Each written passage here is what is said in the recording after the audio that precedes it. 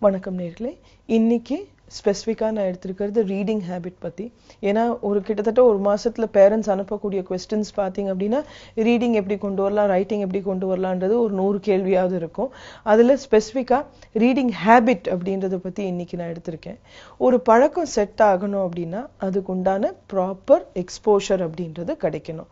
நிறைய டைம்ஸ் பார்த்தீங்க அப்படின்னா இந்த ரீடிங் அப்படின்றது வந்து நம்மளுக்கே பெற்றோர்களுக்கே வந்து ஒரு ஹேபிட் கிடையாது. அதுவுமே இப்போ நிறைய நம்ம வந்து ஸ்மார்ட் ஃபோன்ஸ் மேலே நம்ம ரிலை பண்றதுனால நம்ம என்ன பண்றோம்னா அப்படியே ஏதாவது ஒன்று படிக்கணும்னா கூட ஃபோன்லயே அதை வந்து நம்ம கூகுள் பண்ணி பார்க்குறோம். இல்லைனா நம்ம வந்து வாட்ஸ்அப் மெசேஜஸ் தான் படிக்கிறோமே ஒழிய யாருமே வந்து ஆக்சுவலா வீட்டில் வந்து ஒரு புக்கு வாங்கி அந்த புக்கை வந்து படிக்கிறது பழக்கம் கிடையாது. இன்ஃபேக்ட் நீங்க பார்த்தீங்கன்னா ஒரு பத்து வருஷத்துக்கு முன்னால் லெண்டிங் லைப்ரரிஸோ சர்க்குலேட்டிங் லைப்ரரிஸோ நிறைய இருந்தது. மேகசின்லாம் நம்ம வீட்டுக்கு ஒரு வாரம் யாராவது வந்து டெலிவர் பண்ணுவாங்க. நம்ம படிச்சுட்டு நம்ம எக்ஸ்சேஞ்ச் பண்ணிக்கலாம். இதெல்லாம் ஹேபிட்ஸ் இருந்தது. இப்போ அந்த மாதிரி ஹேபிட்ஸ் எல்லாமும் ஸ்டாப் ஆயிடுச்சு. லைப்ரரிக்கு போகிறதுமே வந்து நம்ம சைடில் ஹேபிட்ஸ் கிடையாது. இதோட மோசமான விஷயம் என்ன அப்படின்னு பார்த்தீங்கன்னா ஸ்கூல் சைட்லையுமே டோட்டலாக வந்து சில்ட்ரனுக்கு வந்து ரீடிங் வந்து வெறும் டெக்ஸ்ட் புக்குள்ளே இருக்கக்கூடிய விஷயங்கள் மட்டும்தான் ரீடிங் அப்படின்னு நம்ம வந்து செட் பண்ணியிருக்கோம். அடிஷ்னலாக ரீடிங்க்கு வந்து லைப்ரரி புக் வந்து ஸ்கூல்லேருந்து இஷ்யூ பண்ணாலுமே சில்ட்ரன் அதை வந்து சீரியஸாக படிக்கிறது கிடையாது. அப்படியே இருந்தாலும் அவசர அவசரமாக கடைசியாக சப்மிட் பண்ணுறதுக்கு முன்னால் அதுக்கு ஏதாவது ஒரு ரிப்போர்ட் எழுதணும் அப்படின்றதுனால அறக்குறையாக படிக்கிறாங்க. ஸோ சில்ட்ரனுக்கு வந்து ரீடிங்க்கு உண்டான எக்ஸ்போஷர் அப்படின்றது வந்து எந்த ஒரு லெவல்லுமே வந்து கிடையாது. ஸோ ஆஸ் அ பேரண்ட் வந்து இந்த சம்மர் லீவில் வந்து நீங்கள் ஹேபிட் கொண்டு வந்துட முடியுமா அப்படின்னு சொல்லி கேட்டிருக்கீங்க. இது வந்து இம் இம்மீடியட்டாக வந்து கண்டிப்பாக கொண்டு வரலாம் அப்படின்னு நான் சொல்ல மாட்டேன். ஏன் அப்படின்னா எக்ஸ்போஷர் நான் வந்து ஒரு விஷயத்தை வந்து ஏற்கனவே நான் வந்து மற்றவங்க செய்யறதும் நான் பார்த்ததில்ல.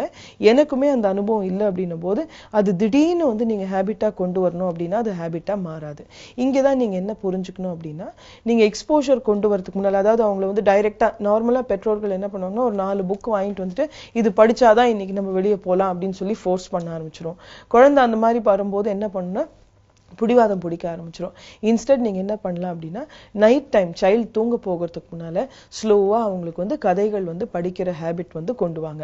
நீங்கள் படிக்கணும். பேசிக்காக வந்து சைல்டை படிக்க வைக்கக்கூடாது நீங்கள் இந்த நைட் டைமில் வந்து சைல்டுக்கு வந்து ரீட் பண்ணி அவங்களுக்கு அந்த ஸ்டோரி சொல்லணும். அந்த ஸ்டோரி நீங்கள் படிச்சதுக்கு படித்து அவங்களுக்கு சொன்னதுக்கப்புறம் அதை பற்றி ஒரு சின்ன டிஸ்கஷன்லாம் கூட நீங்கள் வச்சுக்கலாம்.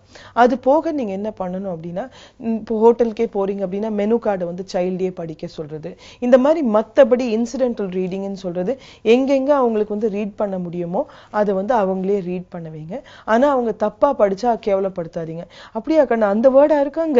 அப்படின்னு சொல்லி நீங்க வந்து ஒண்ணுமே தெரியாத மாதிரி அந்த வேர்ட் பத்தி ஓ இது எழுதி இருக்கா அப்படின்னு சொல்லி அதை வந்து நேச்சுரலாக அந்த சைல்டுக்கு எக்ஸ்ப்ளோ எக்ஸ்போ எக்ஸ்போஸ் பண்ணணுமே வெளியே அதை விட்டுட்டு நம்ம வந்து பாரு நீ தப்பா படிக்கிற இப்படி படிக்கிறதுனால தான் உனக்கு மார்க் வரதில்ல அப்படின்னு நீங்க ஏதாவது ஒண்ணு சொன்னீங்கன்னா சரி அப்போ நீயே படிச்சுக்கோன்னு சொல்லி குழந்தை உங்ககிட்ட அந்த புக்கை திரும்ப கொடுத்துட போகுது ஸோ அதனால நம்ம எப்படி அதை வந்து எக்ஸ்போஸ் பண்ணுறோன்றது ரொம்ப இம்பார்ட்டன்ட் சைல்டுக்கு வந்து நீங்கள் ரீடிங் கொண்டு வரணும் அப்படின்னும் போது அட் எவ்ரி ஸ்டெப் அவங்க வந்து அதில் வந்து சக்சஸ் அனுபவிக்கணும். ஏன்னா ஸ்கூல்ஸ்லையுமே பார்த்தீங்கன்னா டீச்சர்ஸ் வந்து படிக்க சொல்லும் போது ரீட் ப்ராப்பர்லி சத்தமாக படி அப்படின்னு சொல்லி அவங்கள வந்து இன்ஸ்ட்ரக்ட் தான் பண்ணுறாங்களே வெளியே எந்த டீச்சருமே வந்து இப்போ பக்கத்தில் உட்காந்து இது மாதிரி இப்படி தான் படிக்கணும் இந்த வேர்ட் தான் நீங்கள் படிக்கிறீங்க அப்படின்றது செய்கிற அளவுக்கு டீச்சர்ஸ்க்கு வந்து டைம் கிடையாது ஸ்கூல்ஸ்லையுமே அந்த ஹேபிட்ஸ் கிடையாது. ஸோ அதனால் வந்து ரீடிங் எக்ஸ்போஷர் வந்து ஃபஸ்ட்டு நீங்கள் சைல்டு கிட்ட ரீட் பண்ணணும்.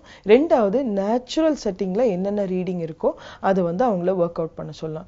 இது போக நீங்க வந்து நிறைய கேம்ஸ் கூட இப்போ வந்து நீங்க வந்து கிரியேட் பண்ணிக்கலாம். சின்ன சின்ன வேர்ட்ஸ் வந்து நீங்க பேப்பர்ஸ்ல வந்து கட் பண்ணி போட்டுட்டு அந்த வேர்டு வந்து சைல்டை படிக்க வச்சு அது வச்சு ஏதாவது ஒரு சென்டென்ஸ் உருவாக்குறது அது வந்து வரையிறது அந்த மாதிரி சின்ன சின்ன அனுபவங்கள். ஏன்னா ரீடிங் வந்து ஒரு விளையாட்டு போக்குல நீங்க கொண்டு போனீங்க அப்படின்னா சைல்டுக்கு அதுல வந்து இன்ட்ரெஸ்ட் அதிகமாகும். ஸோ என்ன பண்ணலான்னா நாலு பேர் வீட்டில் விளையாடுறீங்க நாலு பேருக்கு நாலு வேர்ட்ஸ் வரும்போது ஒவ்வொருத்தர் அதுல வந்து ஒரு ரெண்டு ரெண்டு மூணு சென்டென்ஸ் உருவாக்கணும். அது நாலு பேருமா சேர்ந்து ஒரு கதையாக அதை உருவாக்கணும் அப்படின்ற மாதிரி நீங்கள் செட் பண்ணும்போது சைல்டுக்கு வந்து ஓ இந்த வார்த்தைகள் மூலமாக தான் கதைகள் உருவாகுது. இல்லை வார்த்தைகள் மூலமாக தான் நிறைய வந்து புக்ஸ் உருவாகுது அப்படின்றது அவங்களுக்கு வந்து புரிய ஆரம்பிப்பாங்க. இது போக சில சில்ட்ரனுக்கு வந்து நீங்கள் தேவை இருந்தால் ஆடியோ புக்ஸ் அப்படின்றது வாங்கி கொடுக்கலாம். அதாவது அவங்க வந்து அந்த கண்டென்ட் வந்து வேற ஒருத்தர் படிச்சுட்டு இருப்பாங்க அதை வச்சு அவங்க வந்து ஃபாலோ பண்ணலாம். இது ஏன் அப்படின்னா சம்டைம்ஸ் ரீடிங் மாஸ்டரி இல்லாமல் இருக்கலாம் இல்லை ரீடிங் வந்து ஒரு ஸ்கில்லாக அவங்களுக்கு செட் ஆகாமல் இருக்கலாம். அந்த மாதிரி சில்ட்ரனுக்கு ஆடியோ புக்ஸோட ஃபீட்பேக் நீங்கள் கொடுக்கும்போது என்ன ஆகும் அப்படின்னா அந்த வேர்டும் அந்த சவுண்டும் அவங்க வந்து மேட்ச் பண்ண ஆரம்பித்தாங்க அப்படின்னாலே அவங்களுக்கு வந்து அந்த ரீடிங் ஹேபிட் வந்து இன்னும் கொஞ்சம் ஈஸியராக செட் ஆகும். சம்மரில் நீங்கள் வந்து இப்போ ஸ்டார்ட் பண்ணலாம் ஏன்னா அவங்களுக்கு டைம் கொஞ்சம் அதிகமாக இருக்கலாம்.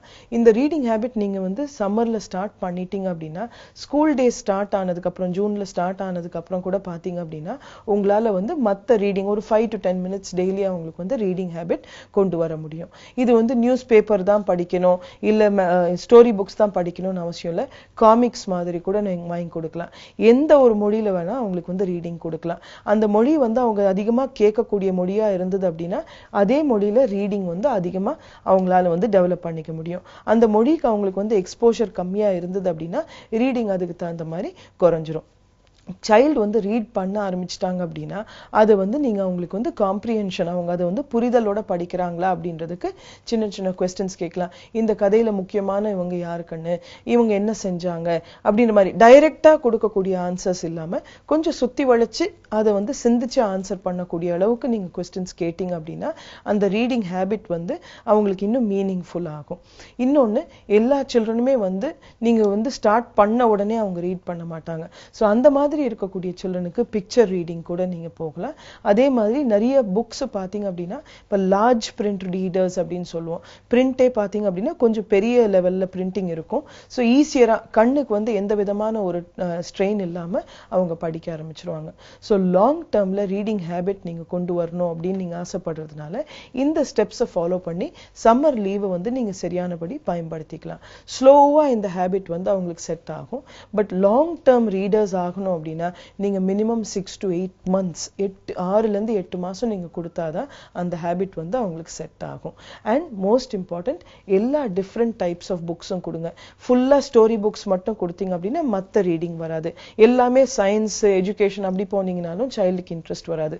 ஸோ கலந்த மாதிரி கொடுத்தீங்க அப்படின்னா லாங் டேர்மில் ரீடிங் ஹேபிட் அவங்களுக்கு நல்லபடியா செட் ஆகும்.